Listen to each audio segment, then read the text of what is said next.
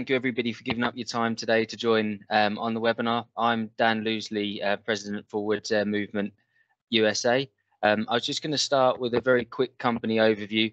Um, I know I've met some of you on the call and just thought it'd be good to give um, an update on, on Woods as a company. Um, don't know how much everybody knows about Woods. Um, a little bit about our history, then I'll hand over to Andy Cardy for the main event for the webinar today. so So Woods uh, specialise in axial fan technology. Uh, so we manufacture products, standard off-the-shelf products and configurable ranges, um, which are available to be selected in our selection tool. Uh, we've also got a webinar on that later in the week if you haven't already had a chance to, to join that session. And then we also offer very high-end bespoke solutions that are designed with our clients for maybe a tunnel and metro projects where there could be very strict specification requirements. Um, so we'll work with our client to optimize the solution for the application. So a little bit about Woods history. So the company was founded in 1909 in Colchester in the UK. Uh, we originally started manufacturing electric fan motors. And then in 1947 was when Woods developed and invented the first aerofoil blade technology. Um, and ever since then, Woods has focused on air movement, axial fan technology, and positions itself as a market leader in axial fan technology. Um, jumping forward to, to 1986, um, that was when Woods first entered the US market when we acquired American Fan Company. So American Fan Company from 1986 was selling the Woods product, the Woods JM, and our axial fan technology into the US market. In 2004, we were merged with a company called Fläkt, which is when the, the company was then rebranded as Fläkt Um, so Fläkt is a air treatment company. Uh, you might have seen their name um, out in the industry. They manufacture air handling units, whereas the Woods part is focused on air movement. Then in 2013, um, the American fan part of the business was sold off, which is when Woods lost its presence within the US market. Um, they were still selling the JM products and still selling the Woods brand. Um, so then in 2019, uh, we were in a position where we could reopen Woods USA, which is when we re-entered the US market, and we're now in the process of opening our new facility in Tennessee. So last year when I arrived in May, uh, the factory was a concrete slab. Uh, we've now got the factory built, assembly line set up, and we're recruiting the team locally and have now started assembly in the new site. So just a little bit about Wood's footprint um, globally. So our headquarters is based in the UK, and then we have manufacturing assembly plants in the USA, India, in Singapore, and a new sales office in Germany with over 70 international distributors spread spread across the globe. So just a little bit about the applications that we, we focus on. Um, so Woods wants to be the partner of choice for its chosen applications. Um, so we focus on the tunnel and metro division, so road tunnels, uh, longitudinal type jet fan systems, also underground metro systems, and then the station extract fans. Then we've got garage fan applications where you could have thrust fans for pollution control or smoke extraction and staircase pressurization systems and atrium fans. So a lot of our products will be used in life safety systems to provide safe exit for occupants within a building. We take a lot of pride in our quality at Woods, um, so we don't position ourselves as being the cheapest manufacturer. We want to offer a quality product designed with our customers. So we, we X-ray 100% of all of our impeller component parts also balance to high standards and strain gauge test any new product designs that we introduce to market. And this brings us on to the new site in Tennessee.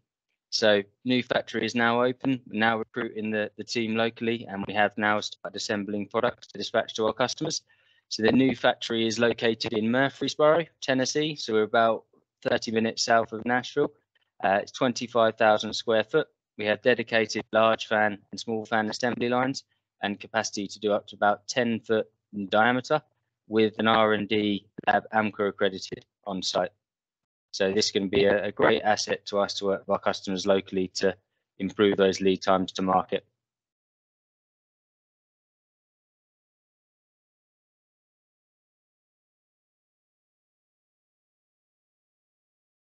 And this is just an overview of what the new factory will be, be assembling.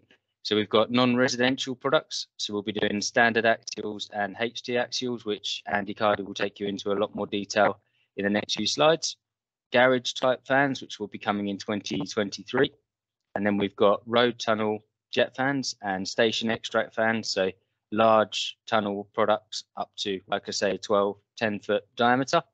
And then we've got the OEM products and then along the bottom, I've just got an overview of our testing capabilities in the new facility. So we've already done uh, first customer witnessed through the battery, including aero, thrust, acoustics, high temperature, vibration, and overspeed testing. Right. And thank you. So that was just a quick company overview before we get to the, the main event. Um, so I'd like to hand you over to Andy Cardy, um, who is our product manager for Axial fans based in our UK facility. Um, so Andy is a, a, trained mechanical and production engineer and a member of the Institute of Engineering and Technology and has over four decades of experience in HVAC. So extremely qualified to take you through through today's webinar. Well, thank you very much. Um, that was uh, good to have the overview and I'm um, really uh, happy to uh, be here today so that we can uh, go through a little bit about axial Flow fans.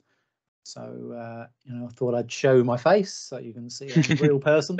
Um, but, um, you know, obviously you, I will close, close that down uh, as we go into the presentation to save a little bit on our bandwidth.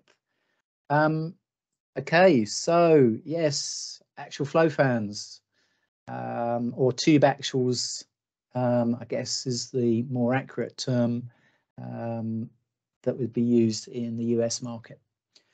Um, so let's have a little look at what we're going to go through today.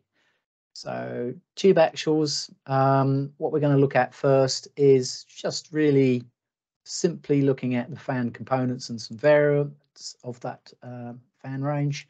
Um, a little bit about axial Flow fan performance capabilities, um, a bit about the impeller design and the linked customer benefits um, about you know the capabilities in terms of air volumes efficiencies and ease of installation. So you know that's that's really the main topics that we're going to talk about. So nothing really heavy um, at this stage. Um, so the first thing to say is let's have a look at essentially the anatomy of a fan. Um, Axial flow fans are really quite easy uh, and simple uh, pieces of equipment. Uh, so that's really the um, the simplicity uh, is is really the main advantage. Um, obviously, the the main component that wraps around it is the fan housing. Uh, everything is mounted to it and in it, um, and that's the bit you connect to ductwork. The impeller or propeller, hub and blade unit is is really um, the key piece of technology that actually moves the air, produces the pressure. Um, now we mount that motor in the center of the duct with four mounting arms, um, which are very straightforward and marked in red, as you can see. And in the middle is a premium uh, NEMA electric drive motor, um, which is obviously um, meeting all the local US standards, UL um, uh, certified and so forth. So, you know, that's really how a fan looks and goes together. Um, although there's a couple of other things we should mention. Um, so on the top of the fan housing is a terminal box. So that makes it uh, really easy for installation, uh, electrical connections, can be made external, so there's no need to be sort of crawling inside the duct to try and find um, the wiring and connect direct to the motor. Um, all of that uh, wiring is held inside a conduit tube that goes down uh, into the motor. Um, so that's all protected from being, uh, you know, uh, overheated by the air going through the uh, the airstream. Um, when I talk about overheating, um, some of these uh, fan products can be used with the right spec of motor uh, and impeller um, for high temperature smoke extract, but we'll get to that a little later. So uh, you know, everything you know in terms of component spec is is based on you know the design that's required. Okay, so that's axial flow fans, but I know that in the US market, probably the norm um, is to use a centrifugal blower um, rather than an axial flow fan. Although I do know that you know obviously there are axial flow fans in the market, um, and so you know I thought I'd just have a little look and do a contrast and compare slide between an axial fan and the centrifugal blower. Um, so if you look at the fan features, uh, the first thing to say about an axial flow fan, has a small footprint compared with some uh, centrifugal alternatives.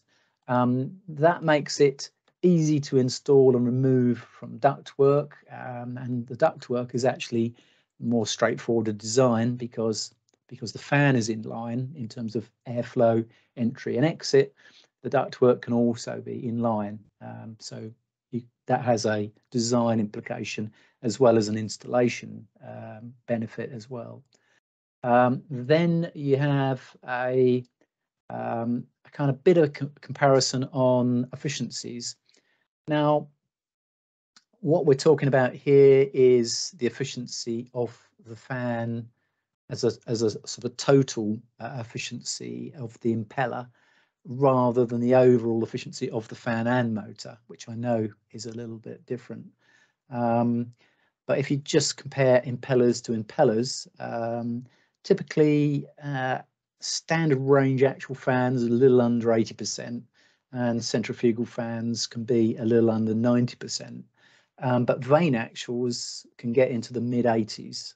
I know this is not the main core range that we're talking about here today, but just to let you know, um, there are vane axials available within our range as well as the tube axials. So I just thought mention that because you know it's relevant to the discussion about efficiencies. Um, then there is this other uh, consideration that we need, really need to be understanding, and that is um, the drive uh, of the impeller. All of our fans tend to be direct driven. Um, I know there there are some applications where belt driven or um, you know indirect drive uh, needs to be used, but you know really uh, in the the case of getting the optimum efficiency, uh, you know direct drive is really preferred because belts and pulleys, um, you know, obviously can introduce losses, so it makes the whole thing uh, less efficient. Obviously, the other negative part about belts and pulleys is that they break. Um, well, the belts to pulleys can wear, but you know, basically you need to do more um, in in terms of maintenance on a belt-driven fan. Um, now I know that belt-driven fans were also required when you're talking about, you know, perhaps commissioning uh, a fan and changing its performance but now, you know, you've got the possibility of very reliable and quite competitively priced um, variable speed drives. You know, yeah, there are other ways of achieving what you need to achieve now. Um, so, you know, belts and pulleys probably, you know, less less prevalent um, and certainly have some disadvantages. Now, there is this um, thing that I must mention about noise. You know, all fans make noise, um, be it you know what you know doesn't matter whether they're axial flow or centrifugal blowers. Uh, they're going to make some sort of noise. But the thing about a an axial flow fan is that the noise that it generates is predominantly high frequency noise rather than a low frequency noise. Um, and because it's high frequency noise, it's very easy to attenuate by some silencing sound absorbing material um, because the silencers can be then much shorter uh, due to the length of the, uh, the, the waveform of the noise. Um, switching it round, if you look at the, the centrifugal blower, because they tend to uh, generate lower uh, frequency noise, it then means that that's a lot more difficult to attenuate. So, you know, from a noise perspective, uh, if there is a problem, um, if it's maybe a two pole machine running at sort of 3600 RPM nominally, um, then, you know, obviously, if you do need to uh, add some treatment to that system uh, to, to kind of get within the noise spec, it's much easier to achieve with an axial flow fan. Um, from the, the point of view of flexibility of the solution, um, because our fan is uh, made in a particular way, the impeller in particular, uh, with adjustable geometry, uh, so the blades of the um, the impeller uh, can be um, rotated around to different angles. Um, that then means that you know you've got a bit more um, kind of flexibility when you're putting the design in, and even to the point where if the motor is big enough um, in terms of what's been installed inside the fan, you may have some uh, additional flexibility on site if need be. Um, whereas centrifugal blower impellers or wheels, they will be welded fixed geometry machines. So from that point of view, you know, they're they're you get what you get. Okay, you can um, you know, obviously speed control them, but then you know the same is true of an axial flow fan. Um, so what does an axial flow fan do? Well, in terms of general comments about the, the type of performance that it gives, it's high air volumes uh, and medium pressures. Now, obviously, if you've got a very high pressure uh, application, um, then a centrifugal fan might be the right thing to be putting into the system. Um, although we can offer multi-stage fans, which could, get um, in excess of four kilopascals of, of pressure development. Um, so, you know, if you've got those sort of high pressures, have uh, a, a, chat with us because, you know, we may still be able to do something. Uh, but when I talk about high air volumes, you know, I'm I'm talking about very high air volumes. So, you know, we will go into that in a little bit more detail a bit further on in the in the presentation. Um, and then the other thing to say is that because of the materials that are being used, um, we can only go up to about 750 degrees Fahrenheit, uh, which is actually quite, you know, a significant temperature. Um, but if if um, it is needed to go higher than that, um, we can extend that temperature range with steel impellers.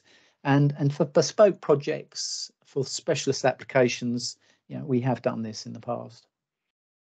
So let's have a, a, little look to see what the jury thinks. Yep, okay. Generally speaking, you know, the axial flow fan comes out um, reasonably well. You know, pretty, pretty, pretty good in comparison with a centrifugal blower. Um, obviously, the efficiency is something we need to be looking at, but I'm, you know, telling you that um, vane axials are available and can you know increase the efficiency. But the other thing to kind of really sort of bear in mind is that you know it's not just the impeller efficiency that is important. The motor efficiency is also something to take into consideration. So it is possible to actually change up the motor spec to get uh, an even higher efficiency if if needed. So from that point of view, know, that's just a, a, bit of an overview of, of the uh, two main types of uh, fan, really. I didn't go into any of the other subtypes, but they're the, the main two that you come across, I guess. So having looked at that, um, what um, is the JM axial tube range um, and you know what does that really look like in terms of overall performance and, and features uh, and benefits so really i just put this one slide together uh, to just kind of encapsulate what the range is so that you know it's, it's real simple to understand what that is. So 12 inches nominally up to 63 inches, um, air volumes up to uh, just in excess of 123,000 um, CFM um, and just a little bit above uh, 9.65 uh, inches water gauge. Um, now, you can see there the sort of test regime that we use, but you'll also notice that those two standards, ISO 5801 and BS 848, are uh, international or uh, British standards, but we also test um, in our AMCA uh, accredited labs. Um, we've got uh, one in the UK and also one um, in our US operation. Uh, we test to AMCA standards. So you're talking about 210 and 300 for um, yeah, uh, performance, aero performance and, and noise respectively. Um, standard temperature uh, ventilation is designed for 104 degrees F. Um, now, because we're also trying to persuade people about the merits of smoke extraction in buildings, um, obviously to try and give enhanced safety to occupants and also to um, provide uh, an extra level of protection for firefighters.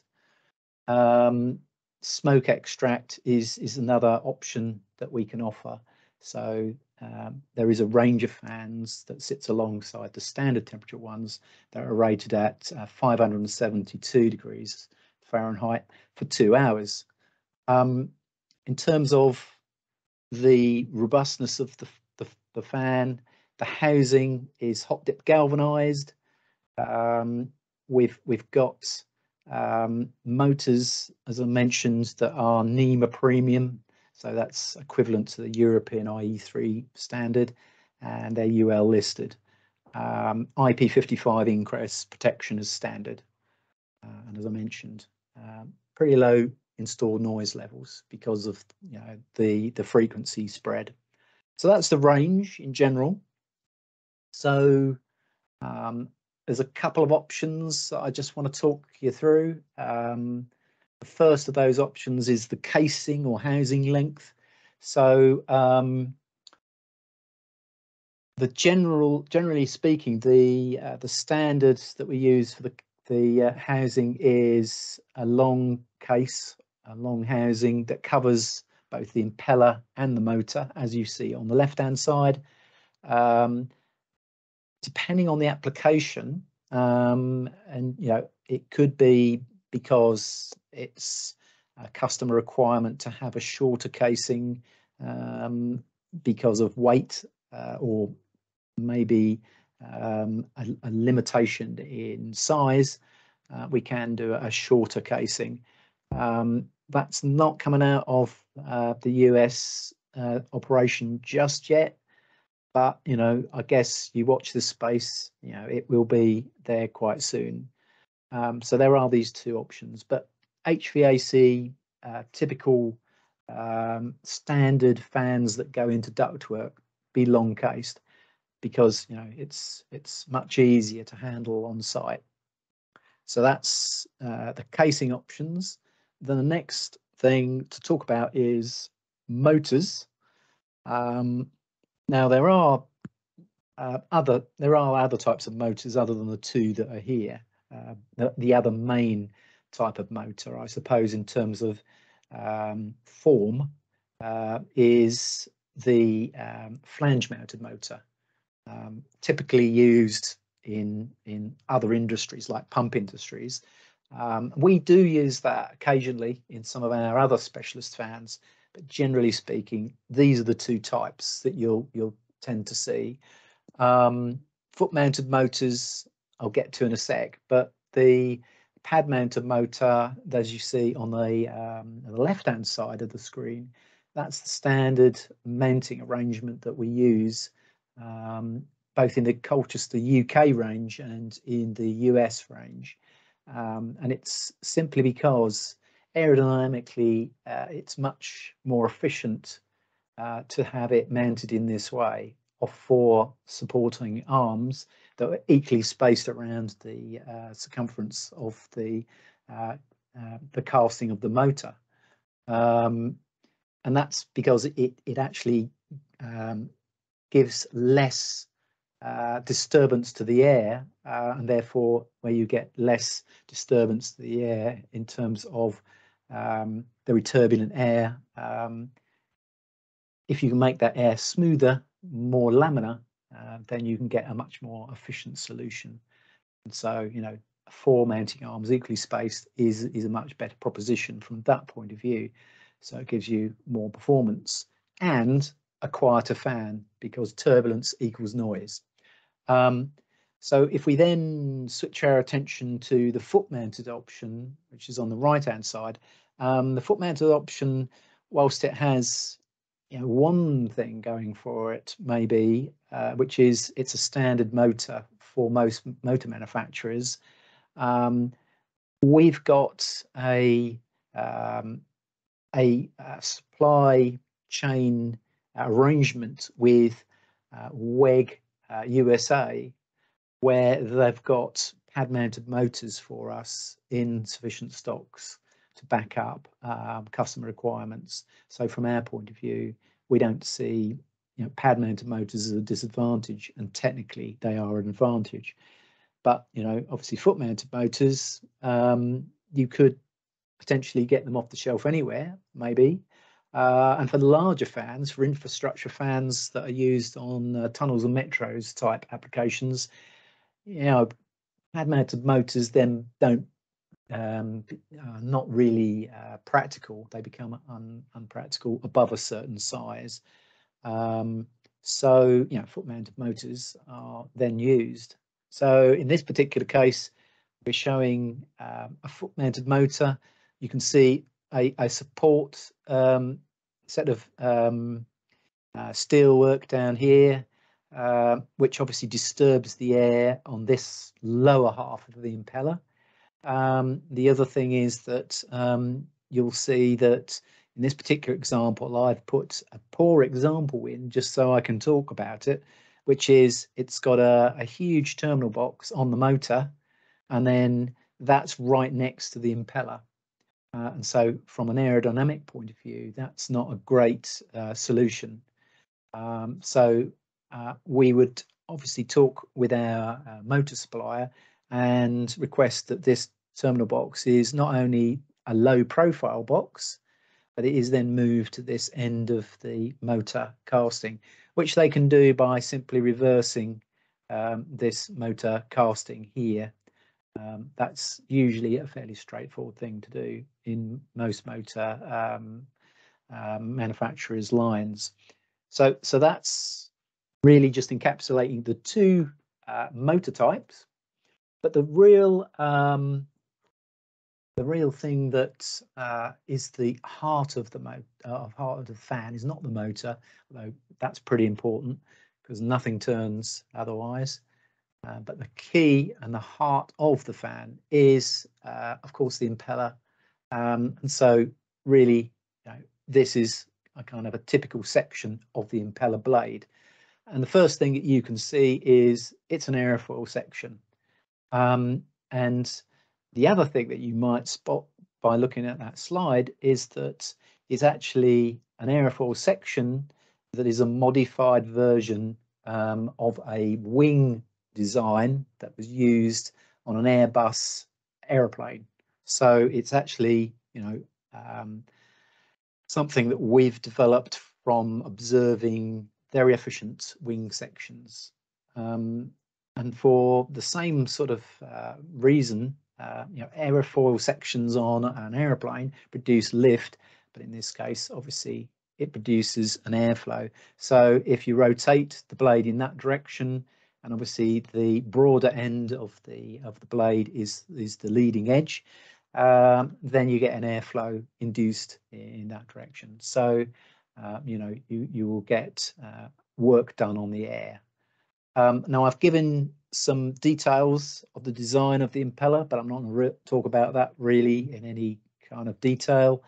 Uh, it's just that you can see that it's got a twist along the length of the impeller, um, which is obviously um, treating the air at different parts of the impeller blade slightly differently because air flows are not equal across uh, the whole of the blade but in twisting the blade in a such a way we can even that out a little bit. So so that's the blade section. Um, now there is um, that's just a general kind of description i suppose of of a blade but we have several different designs of of blade uh, and a hub. Uh, so you know there are various different um, impeller designs, which are designed for different applications to do a different job. Um, and one of those different jobs is um, a true reversible um, impeller, uh, as denoted by the um, the kind of term JMTSP. So JM is just a, the blade design, the base blade design, which is um, what uh, we're talking about uh, in this slide, but then we modified it um, to give a truly symmetrical um, type of uh, performance, uh, which means that if you run the fan in the reverse direction, you get a very similar within one or two percent of the uh, of the forward uh, performance. You get very very similar performance in reverse uh, as you would in the forward direction. And it's designed to do that. Um, there is a bit of a trade-off um, on the perform on, on the um, efficiency of on the performance side, um, but you do get this very equal uh, performance in both directions, and that can be very useful where you've got a fan that is designed as a supply fan to a space, but is also capable of an extract uh, duty um, so you can actually, you know, simplify your design uh, in that way. Um, and the P on the end of that code just means it's designed and op optimized to be a pressure developing fan. So it's designed to go into a ductwork. And the, the reason we, we did that is because there are um, jet fans that are designed to go in tunnels that have got a similar impeller, but they're optimized for thrust rather than pressure development. Uh, so that's really more of an internal code for us, but just in case you were curious what that meant. So the next thing really, other than talking about the cross-sectional of the impeller and a couple of different variants, is to look at another little factor which um, is really important and some manufacturers don't actually kind of um, take this too seriously, but I just wanted to kind of talk about it. And that is the the tip gap, uh, the gap between the end of the blade and the housing of the fan. So obviously uh, you can make that gap bigger or smaller uh, when you're designing the fan. Um, if you make the gap bigger, that's great when you're putting the fan together because it makes it really easy to to actually uh, assemble it in in the shop. But the point is that if you do that it does have an impact on the performance. You can make it really quite very small that much tighter tolerances on that gap but then obviously it makes it a little bit more difficult to put together. But the implication is this so you can see on this chart, um, there's a red horizontal and vertical, um, two uh, lines, one uh, horizontal, one vertical in red, uh, and that shows you the sort of performance that you get out of our selection tool for a, for a given curve. Um, but now we're showing us a, um, an alternative in green uh, which gives you 10% extra pressure development. And that's achieved by reducing the tip gap from 0.1 of an inch to 0.4, 0.04 of an inch. Um, so, so you can see, you know, it's really quite a small gap. However, if you go the other way, um, the blue lines, you can see that if I double the standard uh, gap uh, to 0.2 of an inch, uh, you get uh, a big reduction in pressure development, 16% in this case. Now, obviously, if you've got a high temperature fan or a fan that can be used for high temperature fans, um, anything that is being specced for a, a high temperature use um, will need to take into account that the al aluminum of the blades will actually expand as as the temperature goes up. So you have to have a bigger gap. But what we do is we design the fan to give you the duty um, that is specced, um, plus the leakage factor. So you you definitely get what uh, what is in the design, plus a little bit more. Um, and obviously, when it, the fan heats up to the design temperature, and that gap closes down and the loss reduces, so you you still get exactly what you need. Um, but I just thought I'd point that out because some manufacturers do build fans with quite a large gap, and that's really just to make it easier to build. Um, whereas, you know, we understand, and I wanted to point out what the implication is on the performance. So that's um, tip gaps, um, and obviously the gap is obviously this bit here, um, but you know that's fairly straightforward. The next thing to kind of understand in terms of the fan build is the form of running. And the standard form of running is what we call Form B. Um, and it, the reason for this is that I put some red arrows which show the sort of um, try and visualize the the airflow. Um, so you can see uh, that the airflow before it gets to the impeller um, is very uh, steady and laminar. Um, so there's there's very little turbulence in it. Obviously, as the air goes through the uh, impeller, it will um, stir that up, and there will be um, turbulent air coming off the back of the impeller. Um, but by that point, most of the performance has been generated, so the impact on performance is is is fairly minimal. Um, the other thing is because you've you've you've you're doing it that way round, uh, the turbulent air is then moving away from the fan quite rapidly rather than uh, being um, uh, manipulated within the impeller. Um, so it is a quieter solution and that's the sort of optimum performance for a ducted system. Now, if you go the other way around, so the air passes over the motor first before it gets to the impeller, the motor and the motor supports uh, will actually um, cause some turbulence in the airstream, as you can see uh, from this sort of representation. Um, and then that causes turbulence to going into the impeller, which effectively reduces its efficiency and its performance. And because the energy um, that would have gone into performing more airflow or pressure development is now going out into another form, which is noise energy.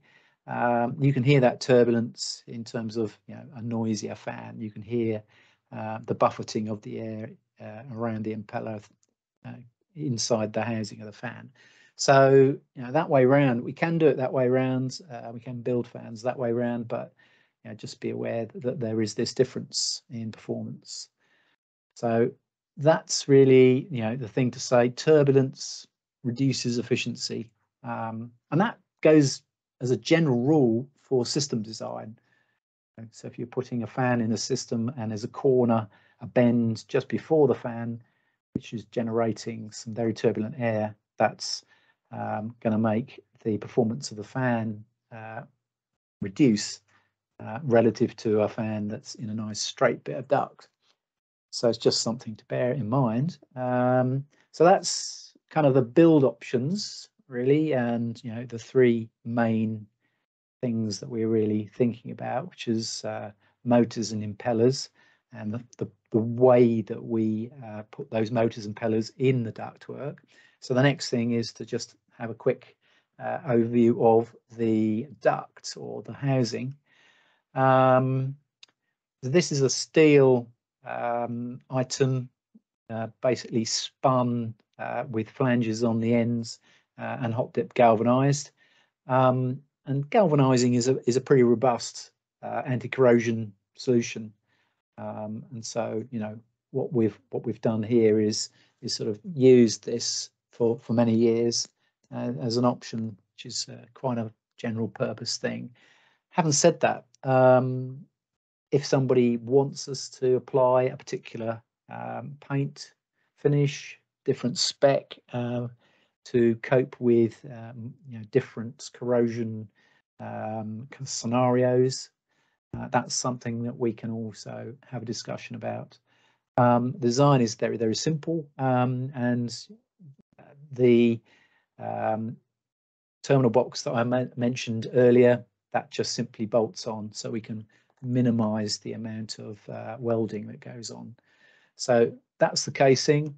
Um, there's there's a little bit to say about um, different fixings uh, or fasteners.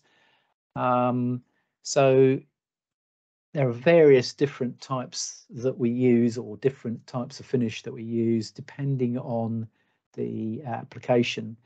Basically, we just take a, a very careful look at the environment into which this is being used uh, and then look at the materials of the fan, making sure that uh, we haven't got a, um, a, a, situation where the fixings and the casing are causing galvanic uh, kind of corrosion. So we we look at that sort of mix of materials very closely to make sure that you know what you end up with is a very robust um, kind of solution which repels um, as much as the corrosion um, as possible. And you know you get very long um, um, kind of life service lives with these particular fans. Um, I think the longest uh, or the oldest example that we've we've seen recently I think somebody said to me that um, they they found a fan that somebody wanted a new motor for that happened to be uh, something that we manufactured in 1958. Um, it's a little difficult to find a motor of the same spec, you have to say, but uh, does prove that our fans can last uh, quite a long time if looked after properly. So from that point of view, you know, we, we take great care with the material spec. Um, and then just a little bit about bit more about materials and design of the impeller. Uh, we talked about the blade in a bit of detail, but there's there's a bit more to um, the uh, uh, impeller or propeller unit than just a blade.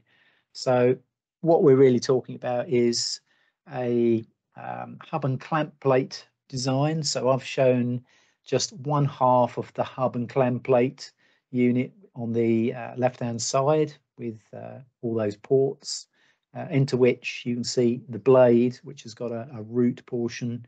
Um, go though that fixes into those ports, and then another half of the hub, which is very very similar, um, is then clamped onto um, the other half uh, with all the blades in place. Um, those smaller holes you can see um, have fixing um, bolts through uh, so those those fasteners then allow us to clamp those two things together to make it a nice robust impeller um, kind of assembly, which is then mounted on the end of the motor.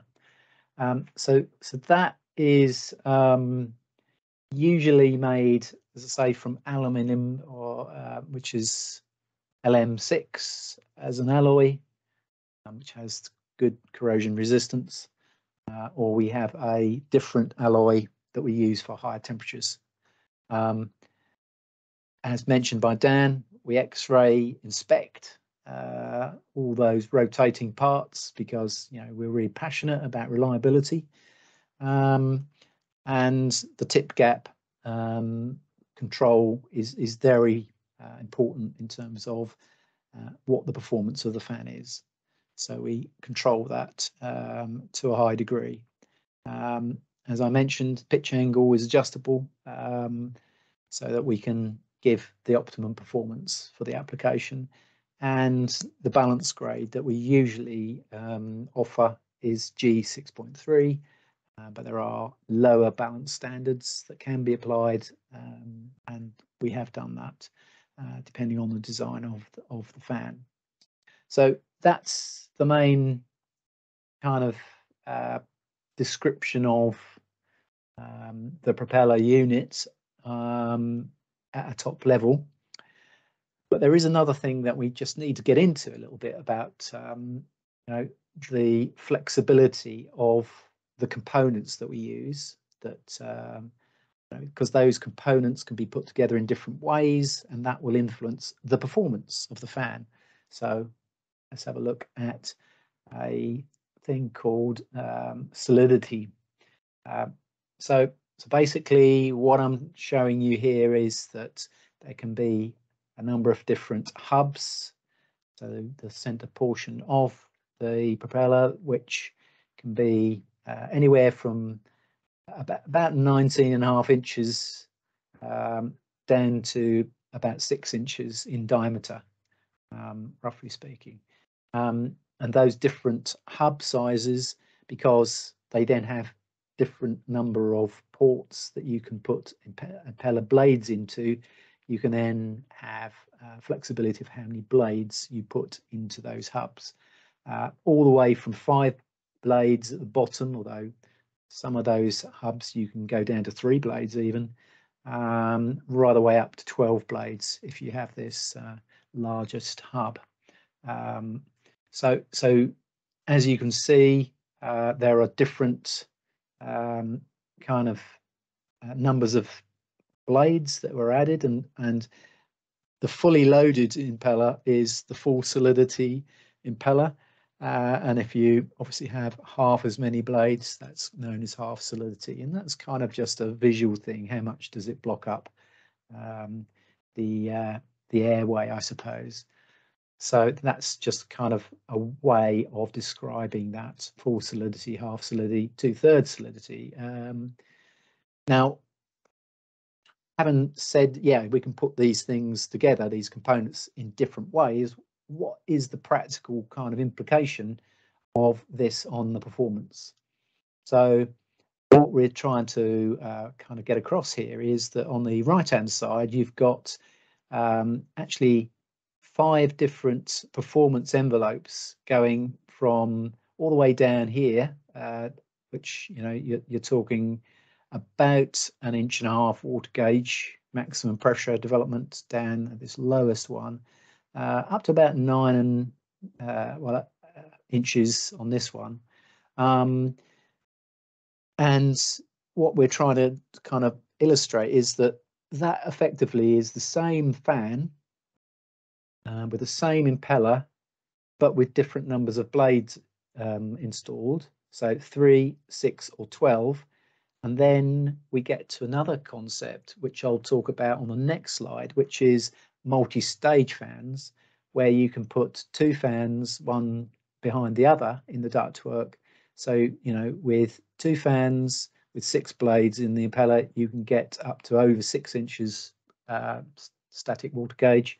Uh, and then if you have two fans with 12 blades fitted, that's where you can get your sort of uh, nine inch plus pressure uh, development. Um, and from that point of view, you know, it does make it a very flexible solution for customers um, when we're designing uh, something for them.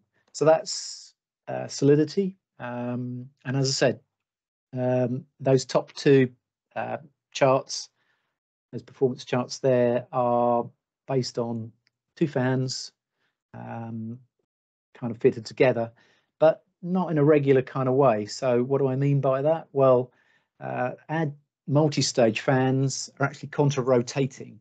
So you will see that from this, this little drawing on the left-hand side that the rotation of the first stage is in the opposite direction to the second stage. And the reason that we do this is that we preload or pre-swirl the air on from in the first stage to make it um, enter the second stage at the most optimum angle. So we there we're very careful about the angle of the impeller blades, one relative to the other. Um, and in doing this, rotating them in opposite directions, you actually get nearly three times the pressure development rather than two. So it is quite a, a useful um, way of getting a little bit of extra pressure.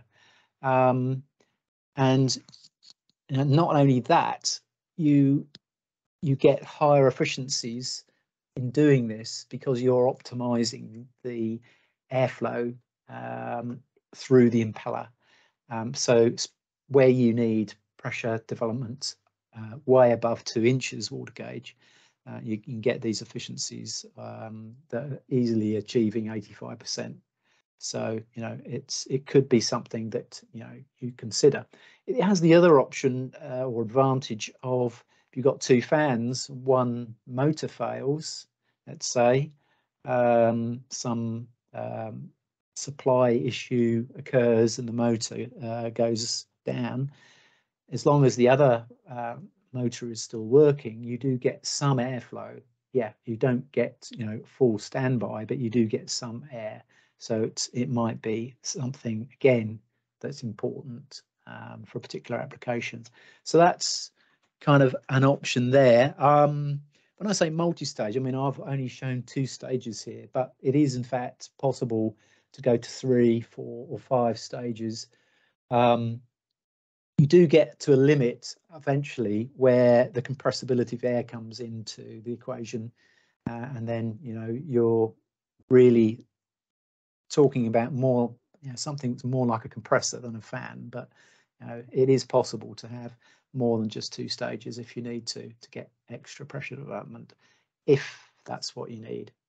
So so that's um, really gone through the various key components and a little bit about you know how we can modify the performance.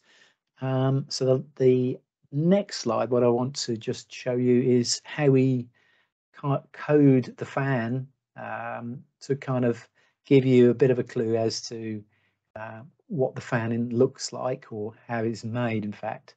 Uh, I do have to apologise, all our fan codes are based on SI units, so apologies up front for that. Um, but um, you know this this code, which is how we code it, this particular example, uh, the one two five is the diameter in centimeters. Um, so that's just you know for our internal kind of manufacturing really. JM is an impeller designation of a family of impellers. Um, there are other impeller families available, but this is the one we're talking about right now. Um, and then the size of the hub in this particular case is 40 centimeters. Uh, so, you know, normally eight inches. Um, ball pole. So uh, for uh, the US market, you're talking 1800 RPM um, and nine blades, um, fully loaded on a impeller there. Uh, and then finally, the angle of the pitch of the blade which is very much linked to the performance of the fan. Um, it also defines the motor power as well. So from that point of view, that's the coding kind of logic that we use. Um, so, you know, you can kind of see where we're coming from there. And then just a real look, quick look at accessories. Um, so when you're trying to mount this fan into a system, uh, what you need to do is to you know, support it somehow. Um, so mounting feet, um, they bolt to the flanges on the end of the housing. Um, and then underneath those feet, uh, you can put anti-vibration mounts um, because then you're allowing the fan uh, a little movement because you know, there may be a little bit of movement um, from that fan as it rotates. Uh, you'll need to have some flexible connectors and some clips to hold those connectors in place uh, and they fix to matching flanges um, on the end of the housing. And so those are uh, bolted to the end of the housing. Um, sometimes there will be a need to have a fan um, and then a standby fan, so duty fan and a standby fan. In this kind of scenario. I'm talking about fans side by side. So in parallel, not series as my other example. Uh, in that case, you might then want an air operated damper. Uh, so it's a non-return uh, damper effectively so that uh, you don't get uh, the fan performance or the airflow just recirculating around a loop. Um, so that's what we would use that for. Talked about attenuators or silencers. Um, this particular example um, has a central pod uh, which has got some more material in it. So that will give uh, enhanced um, noise reduction. Um, they're also uh, available in different lengths, normally one times or two times the diameter of the fan, um, just, just to sort of uh, make it real simple. Uh, if the fan is mounted in ductwork but not um, you know, in the middle of the ductwork, it's at the end of the ductwork, let's say, and so one side of the fan is actually open um, to improve its performance. Um, what we would suggest is a bellmouth entry or a cone entry um, that goes on the inlet of the fan. It just smooths the uh, airflow entry into the fan and makes uh, an improved uh, performance of that fan. Um, and then obviously because it's on the end of the system in this scenario, uh, we, we certainly don't want people, you know, getting their, their fingers inside the fan when it's rotating. So we'd always suggest a safety guard.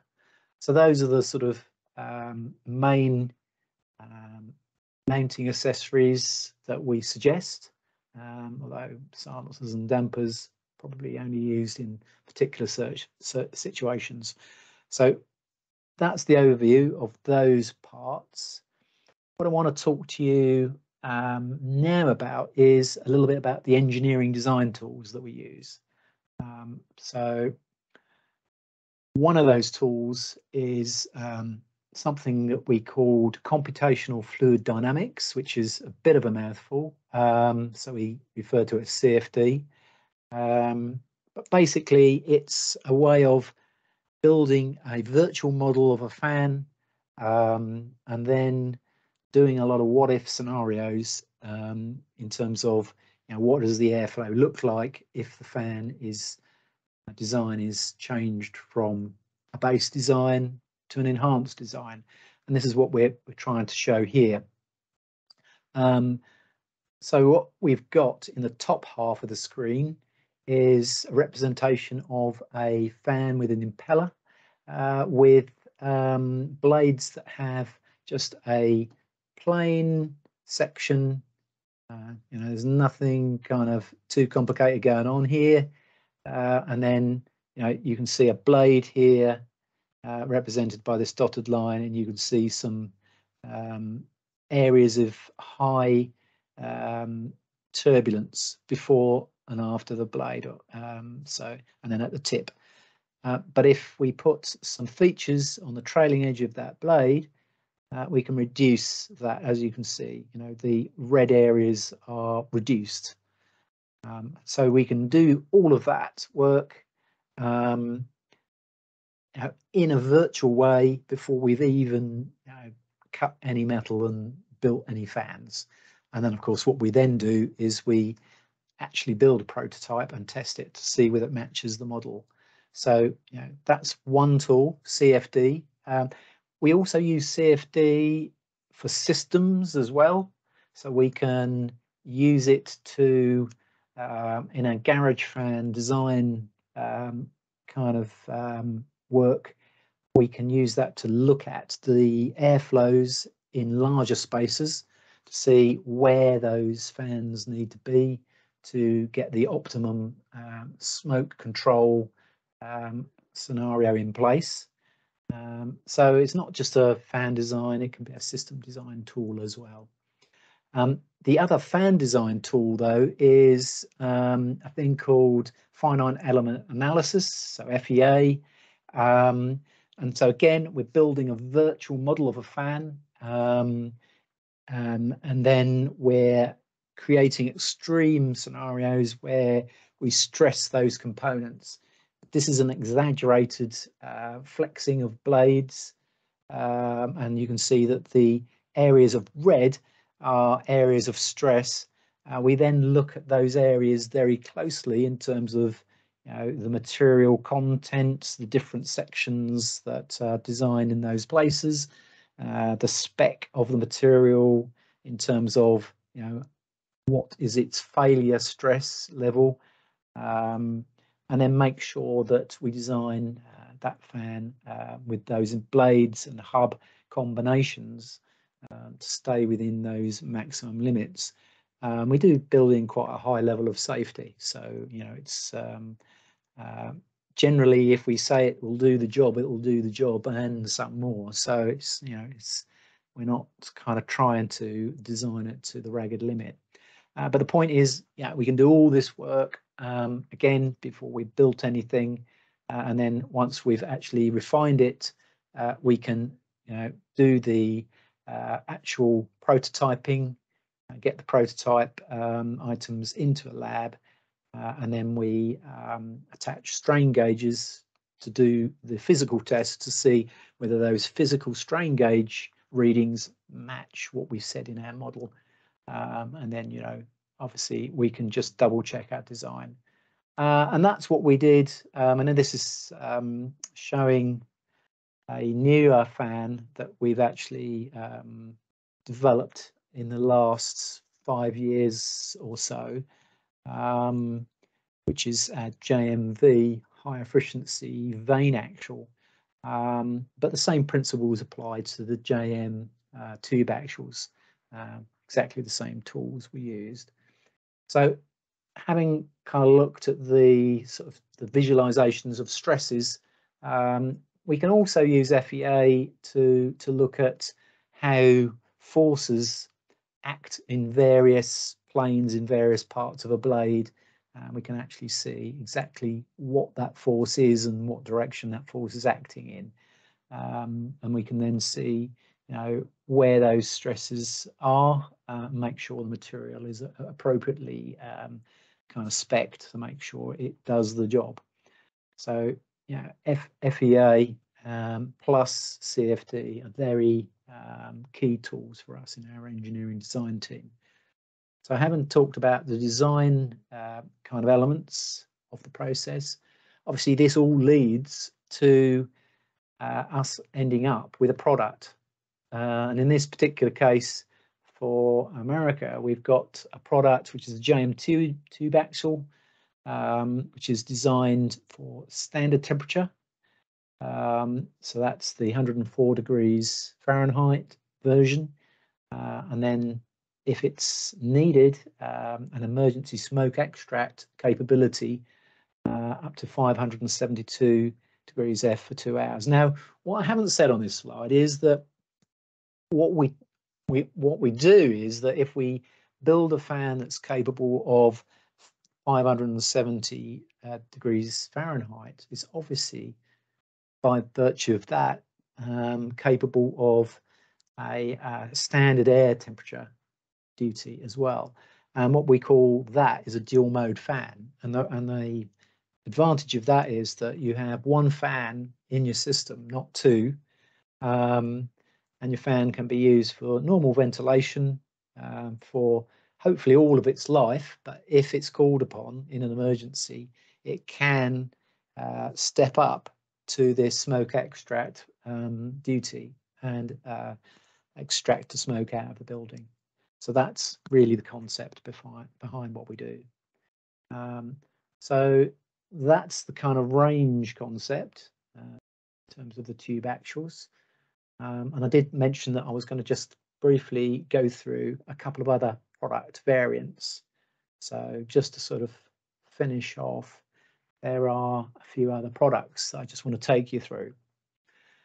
Okay, now I do have to apologise that all of these performances that I'm showing you here um, are based on a 50 hertz um, uh, electrical supply.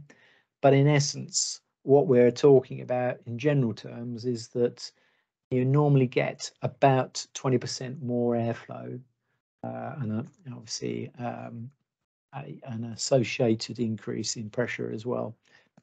Um, but not all products can kind of be run at 20% above uh, the performance that's shown here, but most of them can. So what we're talking about here is some quite big fans. Um, we're talking about um, fans that are, um, you know, 11.6 feet in diameter. Uh, so that is a big fan. Um, and you're, you're getting some very high airflows. And when I was talking to you about you know, high airflows in an earlier slide, 763, almost 763,000 cubic feet per minute. Um, that is um, quite quite a respectable airflow. Um, at a pressure of 13 over 13 inches water gauge um, in this particular case. Um, but if you go to the uh, unidirectional version of that, which is one fan to the right, um, you can actually get uh, 16 inches of pressure development and also an increase in airflow up to uh, 847,500 CFM. So, you know, that's that's a serious amount of airflow. Um, we we do, as, as I mentioned, some vane axials. Uh, the KMG aerofoil is a vane axial fan, um, comparatively small fan at just over five feet in diameter, uh, an airflow of about 131,000 CFM, just under nine inches, uh, static water gauge.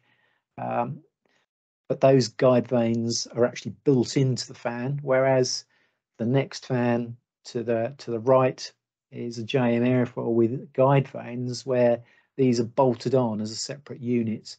Um, so again, you know, you've got a up to a 5.25 uh, diameter fan um, and a little bit of extra uh, airflow, uh, nearly 138,000 CFM at about uh, eight inches static water gauge. Um, and then finally, um, a small specialist range in stainless steel, which is only up to about three feet in diameter. Uh, but again, you know, you can get uh, quite a reasonable um, pressure development from that fan. So that's sort of um, a range of fans which go from sort of infrastructure fans that are on the left-hand side to kind of more specialist uh, fans on the right-hand side. Um, the next kind of set of fans I just wanted to talk about quickly uh, was um, uh, basically are these fans here. So you've got some high temperature fans here. Now there are three fan families mentioned here. Um, the one on the right hand side, um, which is 600 degrees C, uh, so um, that's over 1,000 degrees Fahrenheit, uh, I believe, if I do the maths. Um, that is a, a, very specialist fan. It's uh, You won't see these um, too often, uh, but they are used for underground applications, especially in uh, metro systems. So you know it is possible that uh, that you will see this. Um, and I say we've got this range uh, that goes up to 49 inches in, uh, in diameter, um, which will give you about 70,000 CFM, about four inches static water gauge. So that's that specialist fan, but the other two, um, the one in the middle and the one on the left, uh, they're what we call bifurcated fans. So the motor is actually in a tunnel uh, out of airstream, protected from the um, the uh, higher temperature air. Um, but these are designed for continuous use. So they are, you know, 24 7 uh, usage at those temperatures. Um, and obviously, know, if you've got a system where you need those higher temperatures, uh, a bifurcated fan would be the option here. So just wanted to make you aware of them. You probably won't see them too often, but if you need something like that, that's some this is the, the something that might solve that problem for you. Um, and then finally, um, I just wanted to talk to you about garage fans briefly. Uh, this is something Dan mentioned right at the very beginning. Um, and uh, we have an alternative um, way of providing ventilation, pollution control, and smoke extraction uh, in a fire scenario uh, without ductwork. Now, that's kind of um, a strange thing to say because a lot of more traditional uh, garages um, will have ductwork and fans in that ductwork. Um, but there are several disadvantages to that, especially if you have low level ductwork. Low level ductwork in a garage can get damaged, and then the um, you know the ability of that to perform in an emergency then gets reduced. Uh, whereas if you have things at high level um, and less ductwork, it actually, or no ductwork in this case, you can actually have a much more robust system. Uh, and we use CFD to design these systems so you can visualize exactly where uh, those um, smoke plumes will go. Um, because computers are not always 100% um, reliable in terms of, or might not be seen as 100% reliable in terms of, you know, just because the computer says, you know, the air goes this way in a system, does it really? Uh, or the smoke, will it go this way uh, when there's a fire rather than that way? We we also do um, cold smoke tests in car parks uh, and garages where um, you can actually you know put some cold smoke in and see where it goes uh, and see how effectively that smoke is actually extracted uh, and moved around to the extract points. Um, so we don't ever just rely on computers. We always do a double check um, in a in a real life scenario, and we've done a, num a number of those um, both in the UK and across Europe. So you know we've we've got quite a lot of experience as far as that's concerned. Um, this slide shows you a cylindrical fan which has got an axial flow fan in it and a, uh, a sort of a, a, very much low profile um, cased unit which has got a centrifugal fan in it. Uh, and we do both those types um, for for garage applications. So hopefully um, what I've said makes sense. Uh, if it doesn't uh, please ask questions. Um, and hopefully um, some of those solutions might actually help you out and um, we can we can provide you with some product. So thank you very much for your attention and all that remains for me to say here are our contact details. Now you will uh, have the opportunity to get hold of this um, slide deck. And the other thing I'd say is that there are bonus slides after this because we're only on slide 35 and this deck goes to 56. The bonus slides give additional information. I'm not going to talk about that today, but it's all there. Yeah, hidden content.